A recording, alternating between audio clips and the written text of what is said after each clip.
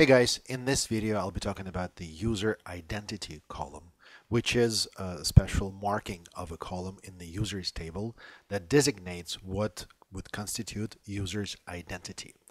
To demonstrate and to put things in context of what I'm talking about, I will switch to the data screen. And here we have the users table populated with some sample users. So as you can see, the email column, it has this light blue tone, which uh, indicates that this is the identity column. In fact, there is a little tooltip that says what this uh, that this is indeed the identity column.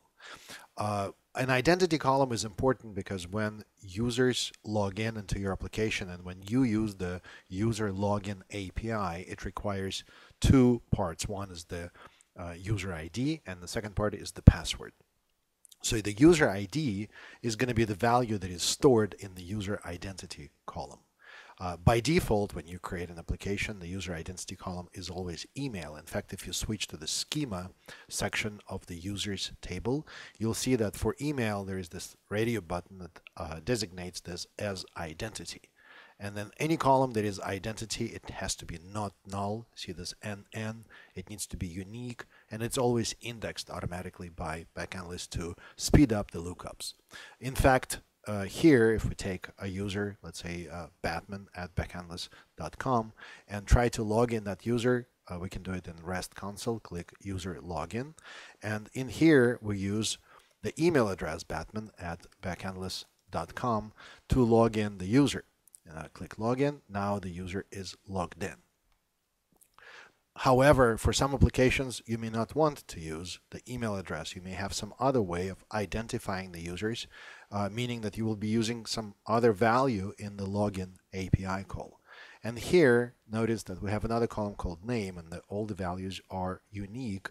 So what we can do is we can switch the identity to uh, uh, designate the name column as the identity. And doing this is very straightforward. You click schema and then select name. Well, just identify the row that says name and then click the identity radio button. So now the name is going to be identity. In fact, name is now light blue and it says that this is the identity column. So now to log in a user into this application and uh, in REST console we, we use the login API.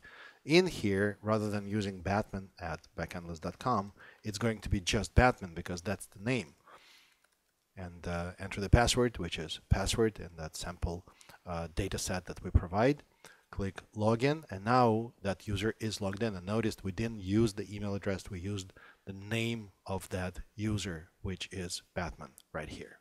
So I hope this conveys the message and uh, makes it clear of what the identity column uh, is and how it works and where it is used, which is the login API. And uh, you can start applying this knowledge in your applications that you built with Backendless. Thank you, and as always, happy coding.